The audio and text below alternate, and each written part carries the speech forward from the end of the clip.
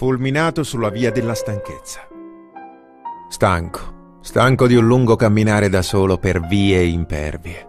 I piedi facevano male e il fiatone saliva fino a quasi soffocarlo. La lunga battaglia in solitario lo aveva logorato a tal punto da barcollare stanco. Stanco di lottare. E pensieri oscuri insidiavano la sua mente. Il guerriero era ammaccato, ferito, e la voglia di arrendersi cresceva.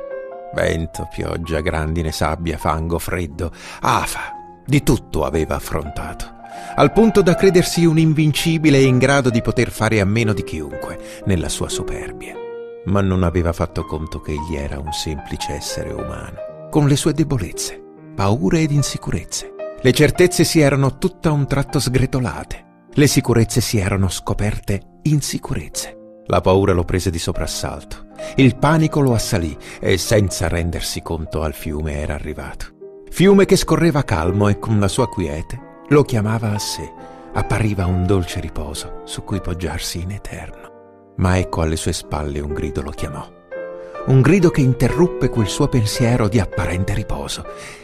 Egli non lo sapeva, ma quel grido era il richiamo alla luce che da lì a pochi giorni lo avrebbe folgorato.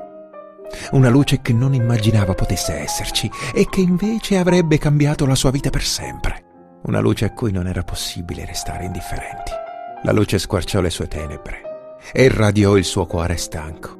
La fine divenne l'inizio di una nuova vita, grazie a quella luce.